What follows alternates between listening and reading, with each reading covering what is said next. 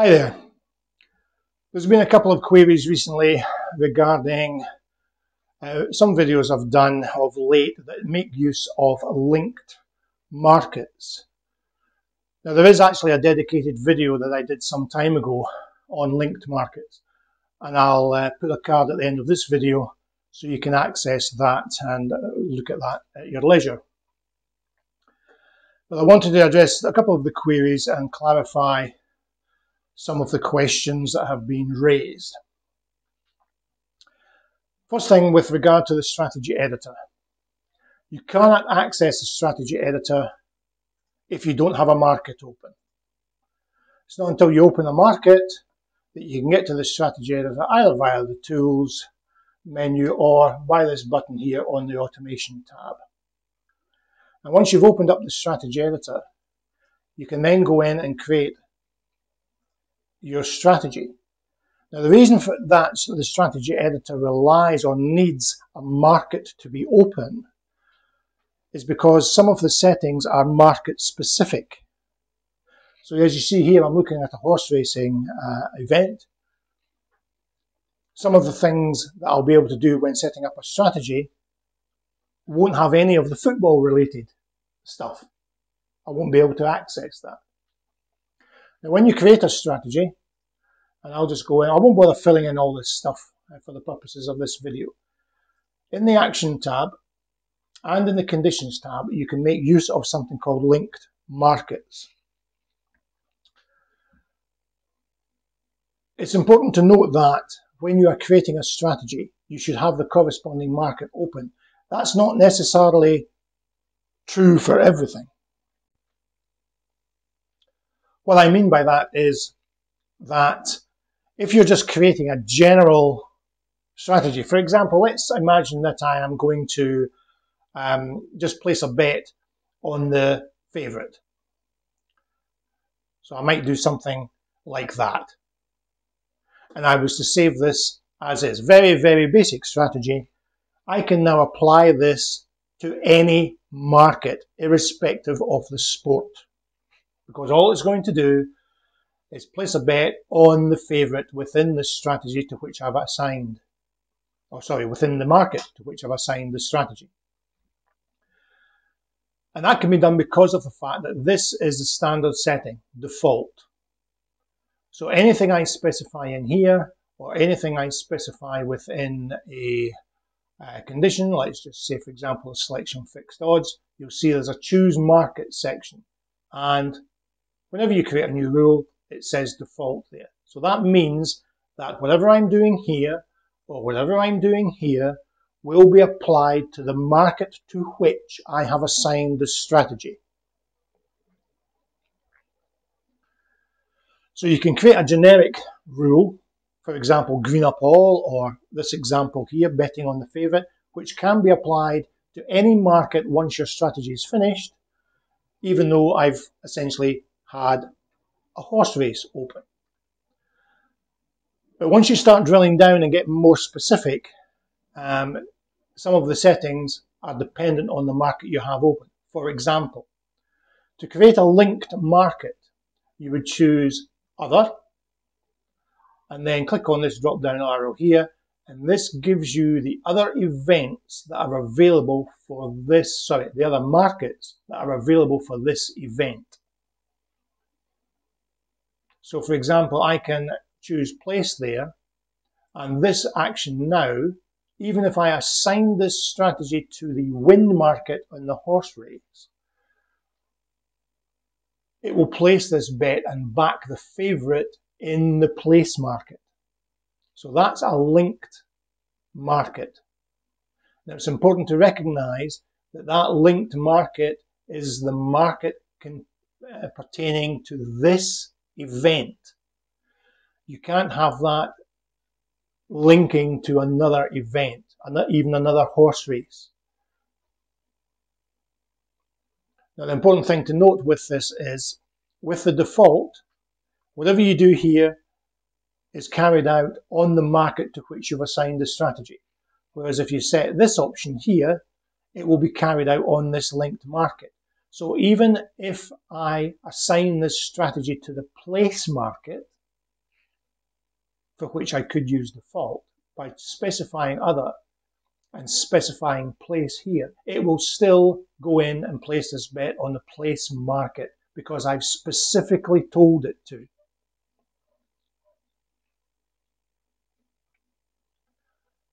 Also notice that uh, with this option here, if I choose uh, by name and choose selection, so this is where we choose the actual selection to which we want the bet to be placed, you'll see that I have the current runners for this market. Now clearly in the case of a horse race, this list is going to change from race to race to race.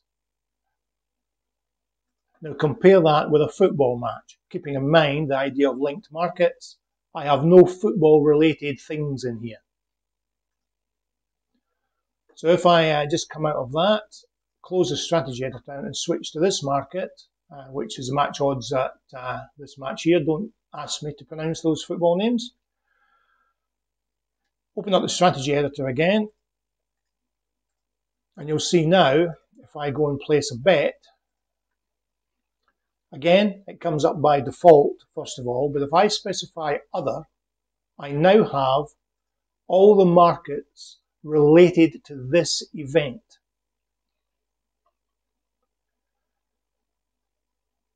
So if I wish to back the favorite in this event here, I can obviously choose default, but when doing so, I need to make sure I assign this strategy directly to this market specifically.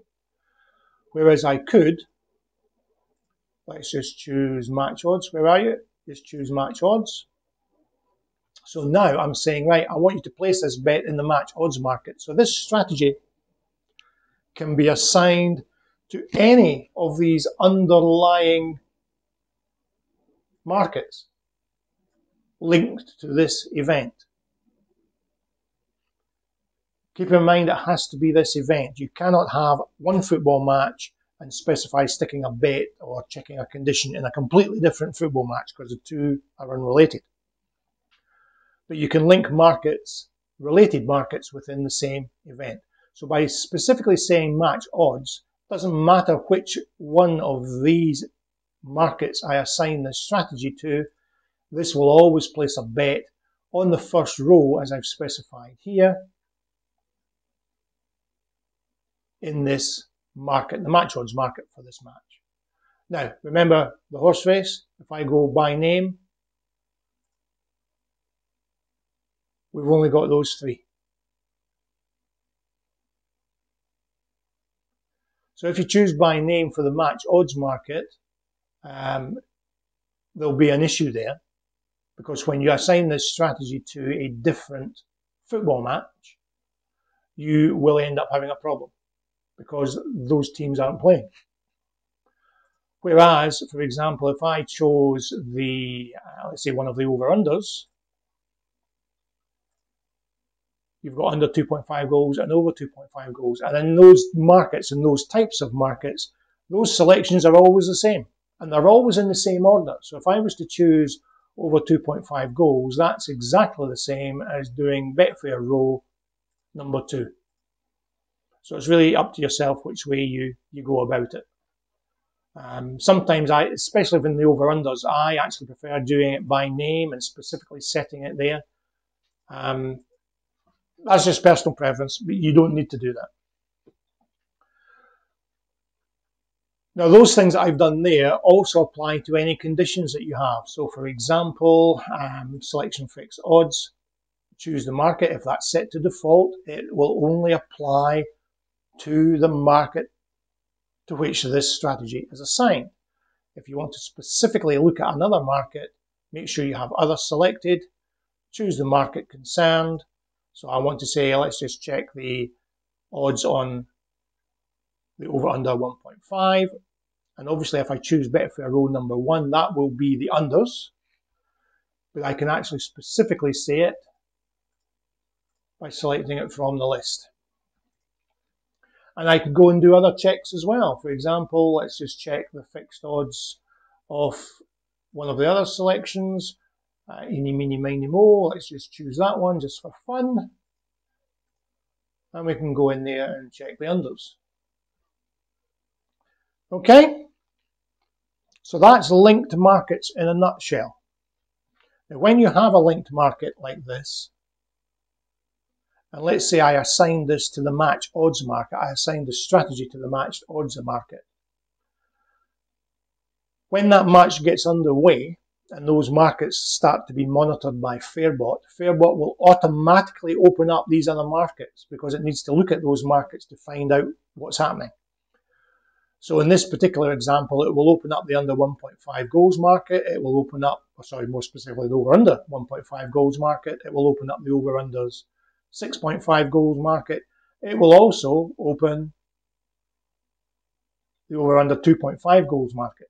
The important point being is this strategy can now be assigned to any one of these related events. Okay, and that's what's meant by linked markets. So the important thing, if you're setting these up, you'll have a you'll have an understanding of what you're trying to do.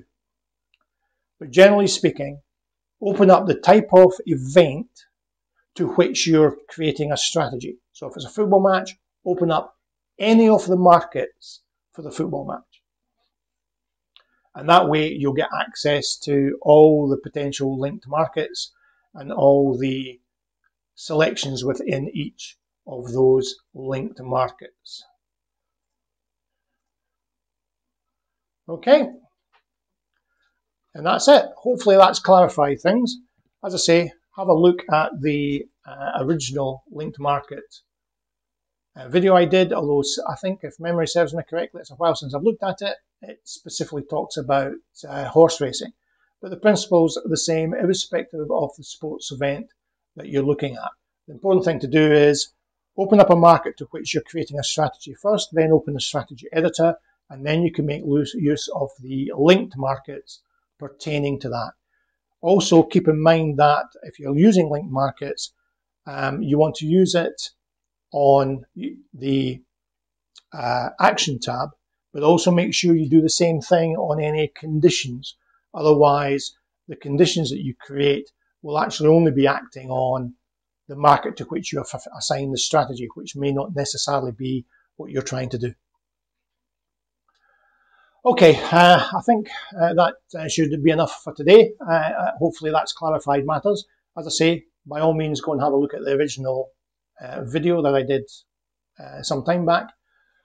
And I'll catch you in the next one. Cheers, guys.